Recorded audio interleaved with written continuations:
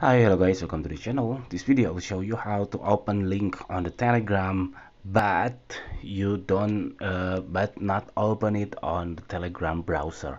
So here for for example i want to click this google.com and then it will be redirecting to the google.com that opened by telegram browser. So what if i want to make it open on google chrome or my default browser uh, let's say safari or opera and so on? So you just go back to your telegram and then click settings and then you scroll down until you can find uh,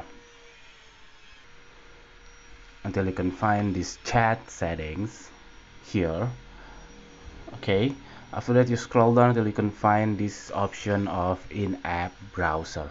So turn it off and then when you click the uh, the link on your uh, telegram it will be redirecting to your default browser. Okay that's it. This tutorial i hope it's helpful for you. If you did please subscribe our channel. And then if you have any question please put on the comment below. Thank you. Bye